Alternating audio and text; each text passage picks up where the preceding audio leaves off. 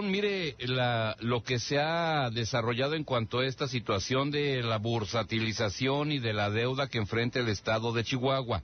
Y es que el gobierno de Javier Corral va a recibir la administración sin margen para aplicar alguna maniobra financiera por lo menos en los primeros tres meses de su gobierno.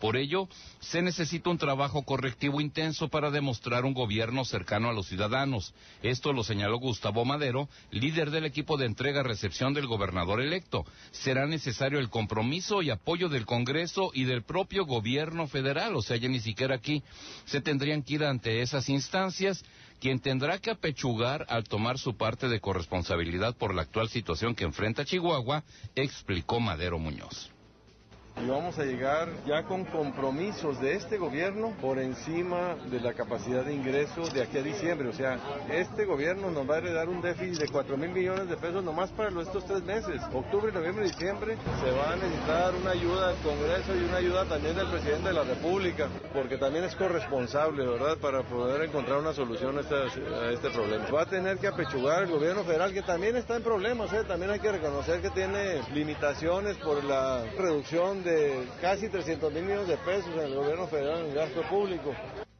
En lo particular, señaló Madero, la complicación representa un error en el calendario fiscal, al recibir del gobierno saliente el proyecto de obras para asignar recursos, dejando ya etiquetados cerca del 90% de los mismos. A pesar de esta situación, los problemas financieros del Estado, Gustavo Madero aseguró que no se prevé un incremento de impuestos locales. No, los impuestos no se está considerando, digo, no me toca a mí esa área, no, no, no tengo yo esa información. Está mal diseñado el calendario porque un gobierno que sale es el que manda la iniciativa. Ahorita ya están en el PEF los proyectos de infraestructura, los programas, los apoyos, las participaciones del gobierno del estado de Chihuahua para el próximo año, que representan la mayor parte de los recursos de este estado, como el 90%.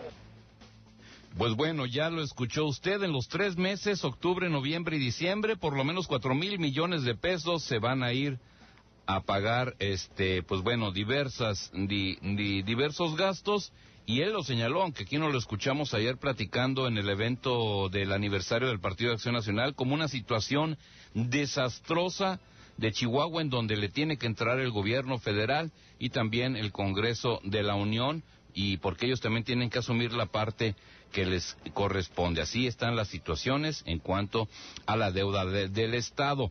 Pero mire, también la Secretaría de Hacienda Estatal está concluyendo el proceso para la asignación de los recursos productos de la bursatilización de los bonos carreteros